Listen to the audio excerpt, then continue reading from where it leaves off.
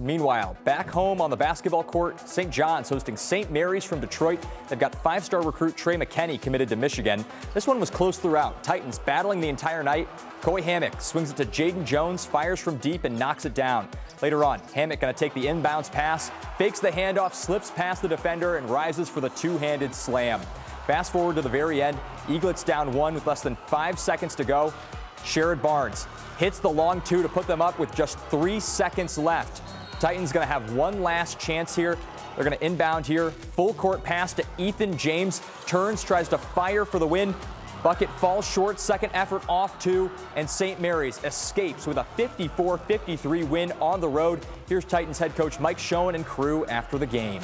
Well, when you're a defending state champion, you have a big target on your back. That's what St. Mary's had on theirs coming into St. John's tonight. The two teams going back and forth for 32 minutes, but a big shot at the end of the ball game made sure that the Eaglets came away victorious over the Titans.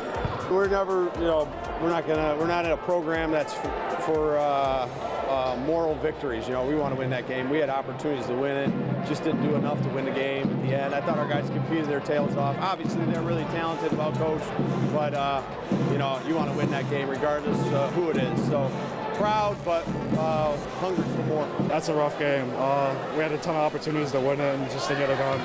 We'll see them again in the tournament. We're not too worried.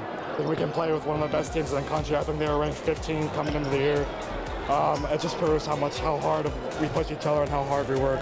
So St. John's is going to have to put this loss behind them really fast because they have another one tomorrow night at 5 o'clock when they hit the road to take on Bowsher.